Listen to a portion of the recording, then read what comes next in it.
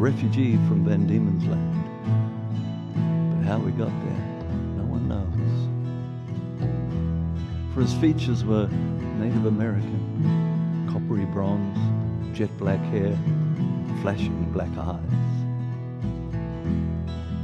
He arrived in Awarua, prisoner on a whaling ship, managed to escape, headed off into the bush. Call him the Black Doctor. No one really knew him well. They called him the Black Doctor. I'm sure he had a tale to tell. He built his house on a slanting broadleaf tree in the banks of the Waihopai River. And he believed one day world would turn upside down and those without proper attachment drop off into space. And he lived with cats and dogs and birds and had a magnificent garden from which he would procure herbal remedies. They called him the Black Doctor. No one really knew called him the Black Doctor. I'm sure he had a tale to tell. They say he was a trifle vain.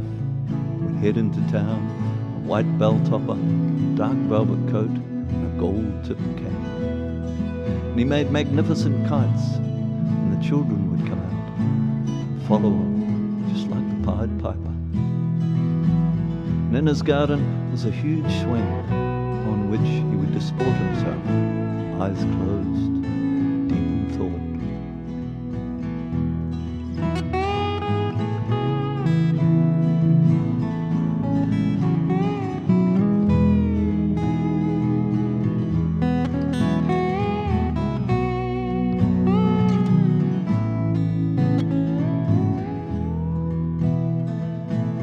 At the time, people squatted everywhere.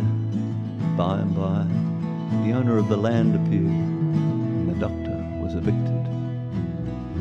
He was moved into an ordinary house in town. He died soon after. So remember, we should look after craftsmen, kite makers, black doctors, and musicians of this world. Called him the Black Doctor. No one really knew well. They called him the Black Doctor. I'm sure he had a tale